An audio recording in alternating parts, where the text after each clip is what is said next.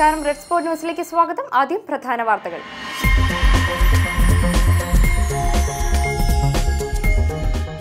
J N യുവിലേത് സർക്കാർ sponsored ഭീകരവാദമെന്ന് Congress. ക്യാമ്പസിലെ ആക്രമണത്തിൽ ഡൽഹി പോലീസ് കേസെടുത്തു. ജെ എൻ യു പ്രതിനിധികളുമായി ചർച്ച നടത്താൻ ഡൽഹി ലഫ്റ്റനന്റ് ഗവർണർക്ക് അമിത്ഷായുടെ നിർദ്ദേശം.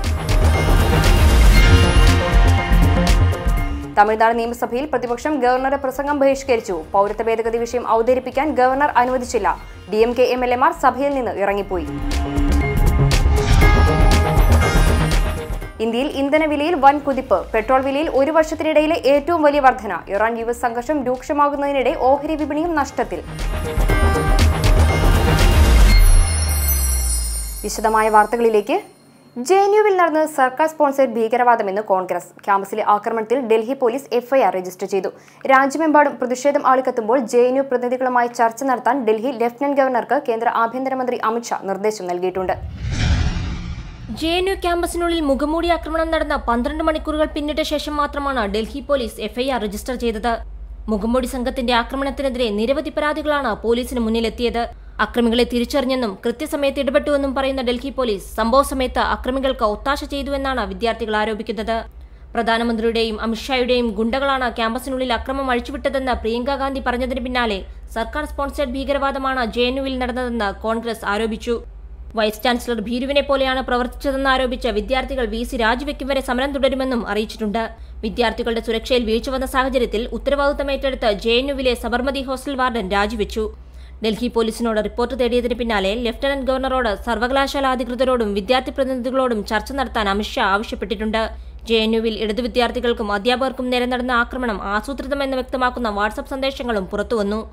National desk red spot news. Tamil Nadu നിയമസഭയിൽ ഗവർണറുടെ പ്രസംഗം ബഹിഷ്കരിച്ച് പ്രതിപക്ഷം പൗരത്വ ഭേദഗതി വിഷയം അവതരിപ്പിക്കാൻ അനുവദിക്കാത്തതിൽ പ്രതിഷേധിച്ച് D M K M L എമാർ സഭയിൽ നിന്ന് ഇറങ്ങിപ്പോയി. ഡി എം കെ നേതാവ് എം കെ സ്റ്റാലിൻ വിഷയം ഉന്നയിക്കാൻ ശ്രമിച്ചെങ്കിലും ഗവർണർ ബെൻവരിവാൽ പുരോഹിത് അനുവദിച്ചില്ല. തുടർന്ന് പൗരത്വ ഭേദഗതി നിയമത്തിനെതിരെ ഡി എം കെ അംഗങ്ങൾ മുദ്രാവാക്യം വിളിച്ചാണ് സഭയിൽ നിന്ന് ഇറങ്ങിപ്പോയത്. ഇറാൻ യു എസ് സംഘർഷം രൂക്ഷമാകുന്നതിനിടെ ഇന്ത്യയിൽ ഇന്ധനവിലയിൽ വൻ കുതിപ്പ് ആണവ കരാറിൽ നിന്നും ഇറാൻ പിന്മാറിയതിന് പിന്നാലെ ഒരു വർഷത്തിനിടയിലെ ഏറ്റവും വലിയ വർധനവാണ് പെട്രോൾ വിലയിൽ രേഖപ്പെടുത്തിയത്. സ്വർണവില സർവകാല റെക്കോർഡിലെത്തുകയും സെൻസെക്സ് അറുന്നൂറ് പോയിന്റ് ഇടിയുകയും ചെയ്തു. പെട്രോൾ ലിറ്ററിന് പതിനഞ്ച് പൈസയും ഡീസലിന് പതിനേഴ് പൈസയുമാണ് വർദ്ധിച്ചത്. അന്താരാഷ്ട്ര വിപണിയിൽ അസംസ്കൃത എണ്ണയുടെ വില ഉയർന്നത് ചൂണ്ടിക്കാട്ടിയാണ് രാജ്യത്തെ എണ്ണ കമ്പനികൾ വില വർദ്ധിപ്പിക്കുന്നത്. ഇറാഖിലെ ബാഗ്ദാദ് വിമാനത്താവളത്തിൽ യു എസ് നടത്തിയ വ്യോമാക്രമണത്തിൽ ഇറാൻ സൈനിക കമാൻഡർ ഖാസിം സൊലൈമാനി കൊല്ലപ്പെട്ടിരുന്നു. തുടർന്നാണ് ആണവ കരാറിൽ നിന്ന് ഇറാന്റെ പിന്മാറ്റം. ഇതോടെ രാജ്യാന്തര തലത്തിൽ ഇന്ധനവില കുതിച്ചുയർന്നു. ഇറാൻ യു എസ് സംഘർഷത്തിൽ സമ്മിശ്ര പ്രതികരണമാണ് രാജ്യാന്തര വിപണിയിലുണ്ടായത്. ഇതേ തുടർന്ന് ഇന്ധനവിലയിൽ ഒറ്റയടിക്ക് മൂന്ന് ശതമാനം വർധനയാണ് രേഖപ്പെടുത്തിയത്. ഇന്ത്യൻ വിപണിയെയും ഇറാൻ യു എസ് സംഘർഷം കാര്യമായി ബാധിച്ചു. സെൻസെക്സ് അറുന്നൂറ് പോയിന്റ് നഷ്ടത്തിലാണ് വ്യാപാരം തുടരുന്നത്. രണ്ടായിരത്തി പതിനഞ്ചിലെ ആണവ കരാർ പ്രകാരം ഏർപ്പെടുത്തിയ നിയന്ത്രണങ്ങളൊന്നും ഇനി പാലിക്കില്ലെന്നാണ് ഇറാൻ പ്രഖ്യാപിച്ചത്. യുറേനിയം സമ്പുഷ്ടീകരണം അടക്കമുള്ള കാര്യങ്ങളിൽ ഒരു കരാറും പാലിക്കില്ലെന്ന് ഇറാൻ വ്യക്തമാക്കി. ടെഹ്റാനിൽ മന്ത്രിസഭാ യോഗത്തിന് പിന്നാലെയായിരുന്നു ഇറാന്റെ നിർണായക പ്രഖ്യാപനം. News desk red spot news. പ്രധാന വാർത്തകൾ ഒരിക്കൽ കൂടി.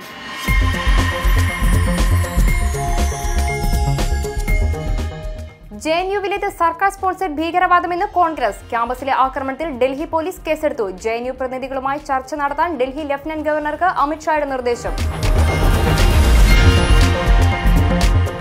തമിഴ്നാട് നിയമസഭയിൽ പ്രതിപക്ഷം ഗവർണറുടെ പ്രസംഗം ബഹിഷ്കരിച്ചു. പൗരത്വ ഭേദഗതി വിഷയം അവതരിപ്പിക്കാൻ ഗവർണർ അനുവദിച്ചില്ല. D M K M L എമാർ സഭയിൽ നിന്ന് ഇറങ്ങിപ്പോയി. ഇന്ത്യയിൽ ഇന്ധന വിലയിൽ വൻ കുതിപ്പ് പെട്രോൾ വിലയിൽ ഒരു വർഷത്തിനിടയിലെ ഏറ്റവും വലിയ വർധന ഇറാൻ യു എസ് സംഘർഷം രൂക്ഷമാകുന്നതിനിടെ ഓഹരി വിപണിയും നഷ്ടത്തിൽ.